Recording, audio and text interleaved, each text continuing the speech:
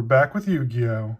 Hello and welcome back to another episode of Yu-Gi-Oh! Unboxing. And today we have a really interesting deck of cards. We actually have a Yugi Dark Magician Structure deck. Now, it looks like a Japanese one, but it actually is fully in English. That's right. This is an English-Japanese pack, if that makes sense. And we'll get a little bit into it when we open it up, but look how beautiful that box is. So we're not going to do it in this episode. We also have a Blue Eyes one. And maybe if I can get someone to duel me, we'll uh, have these go head to head. But not right now because we're unboxing. And as you see right here, this is the English version for Asia. So if you're in Asia and you speak English, well, you got a deck for you. It's uh, carefully. Is there tape in this? There's tape in this. Uh, do I have a knife? We're back. We have a blade we actually uh, cut the tape and unbox these uh, things. We're not going to destroy the uh, box because I actually want to keep this. And it seems like they're doing a good job of making sure that the box doesn't completely break. There we go. The seal has been removed and we can open this up. Oh, look at that. English OCG cards. We also got a power-up pack which is actually pretty sick. So this comes with 5 out of 20 cards randomly. All of them are compatible with cards you already own. And we got uh, the playmat, which is pretty cool. It's both of them together, and then we got the other side. That's cool. So, the power-up pack, we could get any one of these 20 cards. Hope we get Mirror Force. Mirror Force is always a cool one. So this is your lot. Um, obviously, we barely get these with our structure decks or any deck in the Americas. So let's see here. Oh, you know what's nice? This also has the um, the sleeve.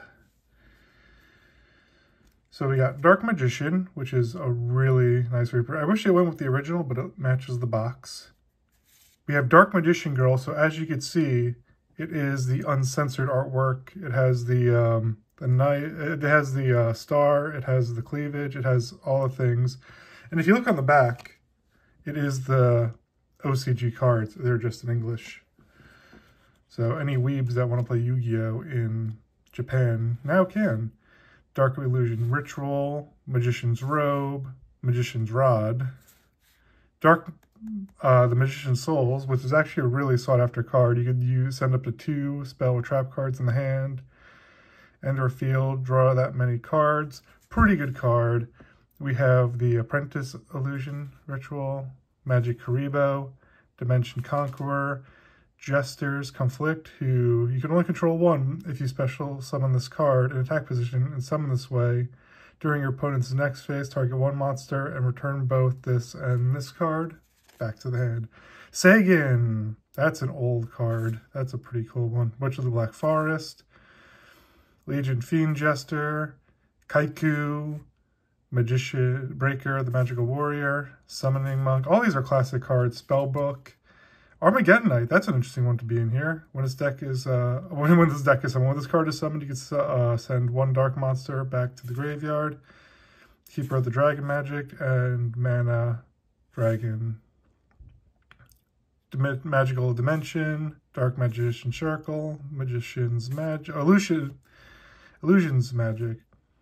Dark Magician Expanded, which is apply one of these effects. One Dark Monster gains a 1,000 attack. Um, opponent can activate cards in response to spell traps, and Dark Spellcast monsters aren't affected by cards. That's really nice. Dark Magic Inheritance, Soul Servant, Secrets of Dark Magic, Monster Reborn, that's right, we got the classic one right here, the old-fashioned one. Polymerization, which had the original one of that one.